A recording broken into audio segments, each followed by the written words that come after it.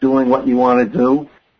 And because it tells you that, it helps you improve your effectiveness and efficiency of your process to do better, make parts more in tolerance, which helps increase your productivity because you're not throwing things out all the time because it doesn't meet requirements.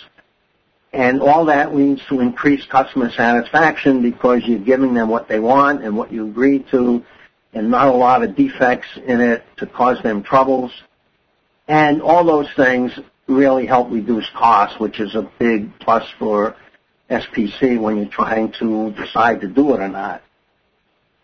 Okay, uh, brief history of how it came about. Probably the person that has had the most influence in this was a Dr. Walter Shewhart.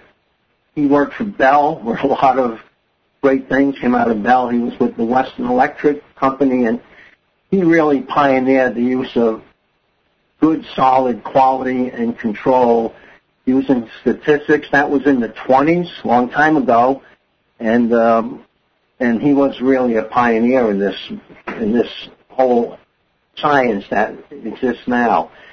And some of his uh, uh, descendants or uh, uh, accolades were some famous people that I'm sure you heard of: Edward Deming, Joseph Juran, and several others. And where they made their big play into statistics was uh, being hired as consultants to go to post World War II Japan to help them get their manufacturing up and running because they had terrible quality, terrible manufacturing processes. And uh, the U.S. Army somehow or other knew about these guys, even though they weren't accepted very much in the U.S., but they were writing treatises and theories about how to improve quality in manufacturing.